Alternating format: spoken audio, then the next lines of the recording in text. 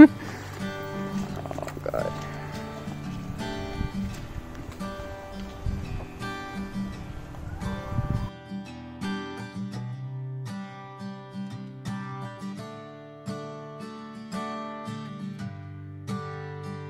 So Michelle found something new here today. You see that bag there?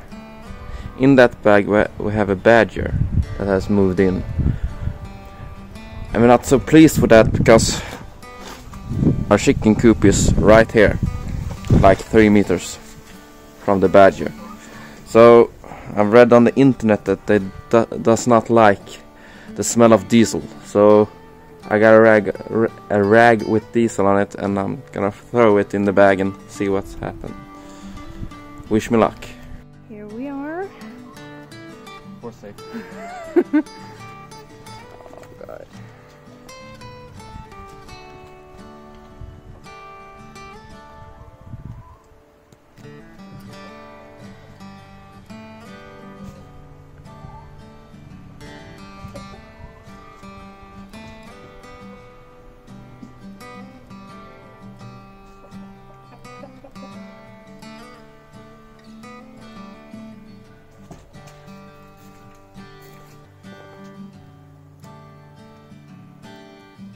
was a badger pup.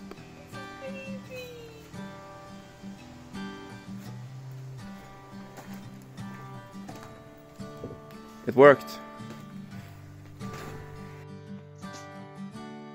Hello and welcome back to Cut Lake Grove. As you saw last night, we have a we had a unexpected visitor, the baby badger. Uh, it seemed to have worked the diesel covered rags. He isn't here today, what I've seen. I will keep a lookout for him. And I just want to explain that we live in the woods. The farm is in the woods. There are obviously going to be predators. Uh, but they cannot be so close to the house and to the to our animals. There are other ways to take care of the predators. But if I can avoid spilling a, a animal life for something as si simple as needs move, I will do that.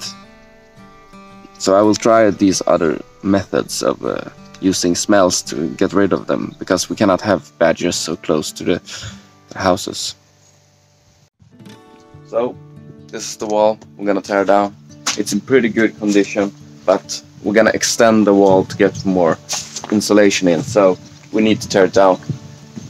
As you can see here on the door, we had some visitors here a couple of months ago that took an axe and just punched through the, the door. So it's scrapped. Uh, and this is an old house, so the dimensions of the door is not the standard dimension.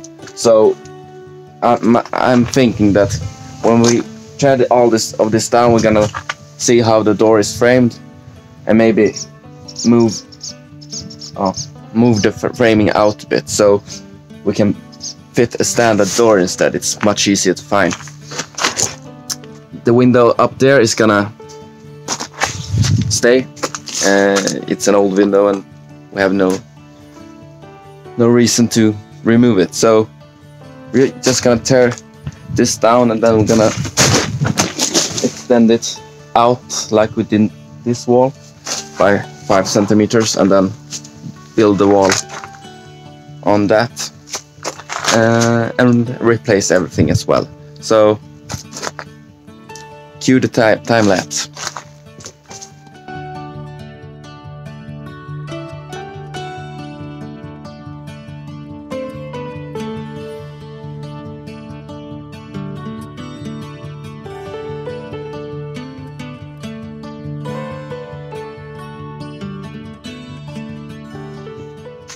I just have to say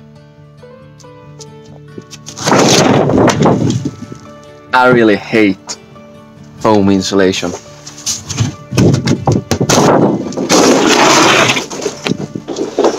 It sucks because when you take it just falls apart and gets everywhere. There's no good way to remove it. I've tried with bags and I've tried everything, but it just gets everywhere. I really, really hate foam insulation. So now I'm done co complaining. Let's get back to work.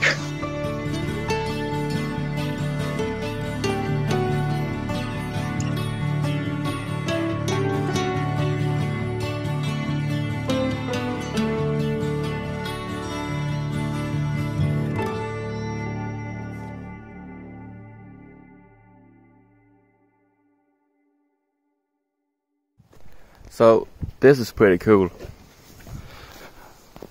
When I tear, down the siding around the door, I found some signatures.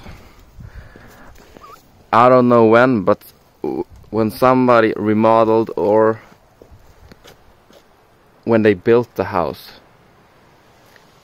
they signed their name. That's actually very, very cool.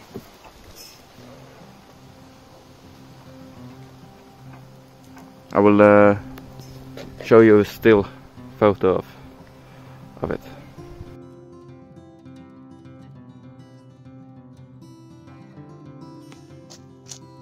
So I got some new information about the signature on the wall.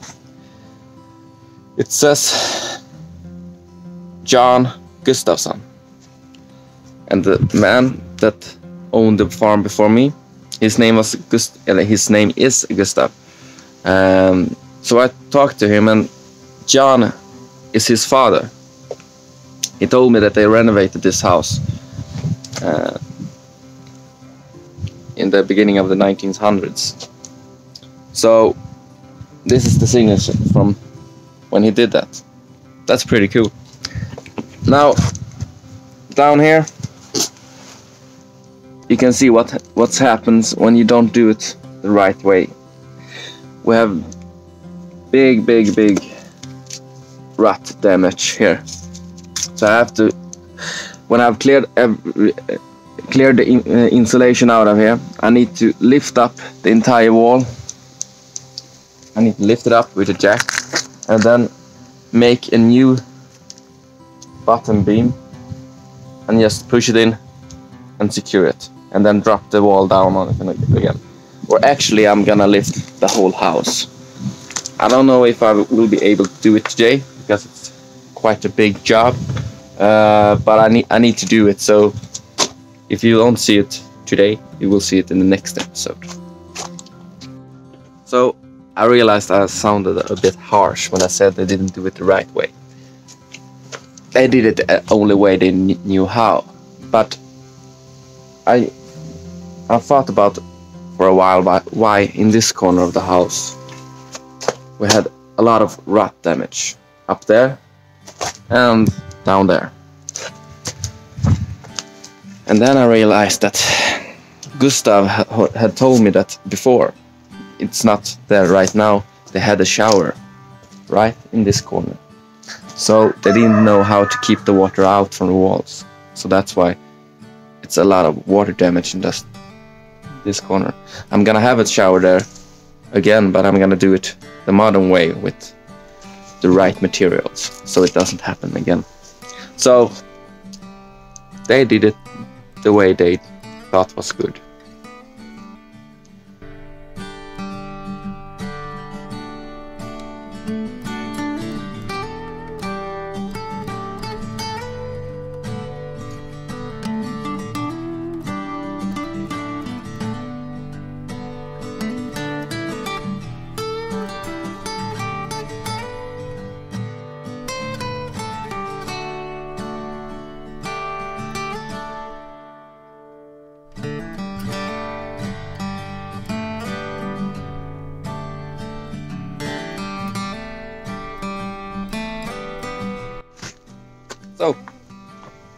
Exterior wall, the paneling, the siding, whatever you want to call it, is removed. The insulation is also removed, even the upstairs is removed. So now I just have to rebuild it, but I'm losing daylight and I want to go home and eat. I have to buy a couple of things, uh, some tar paper and stuff like that to be able to put in the new bottom beam. But that's a problem for tomorrow. I'm gonna go and buy stuff tomorrow morning. So, thank you for watching Cut Lake Grove. Have a nice evening and see you next time.